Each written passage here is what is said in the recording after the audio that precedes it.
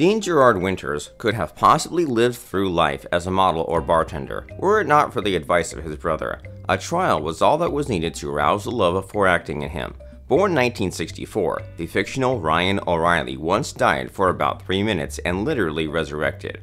Are you ready to meet his family? Let's go. We know nothing about Dean's father, and there is little to say about his mother, too, except that she was a former model and dancer, born in 1940. Dean's immediate younger brother is Scott. He also acted in the popular drama series Oz. He and his wife, Jennifer Logan, are parents to two children. Scott is a family man who prioritizes God and loves surfing and writing. Bradford is the next Winters brother. While he may not have made movie appearances, he is a brilliant producer and screenwriter. His wife, Tracy, is an immigration lawyer, and the couple has two daughters.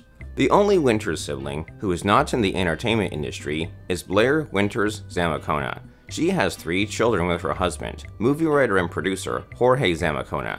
It seems like even she couldn't avoid the acting fever that runs in the family. She works in the Manhattan Hospital and runs a pediatrics AID unit. To the best of our knowledge, Dean is single. Some believe that he is okay, but these rumors are, as at now, unfounded. No child calls him father in our books. Do you want to see more? Subscribe.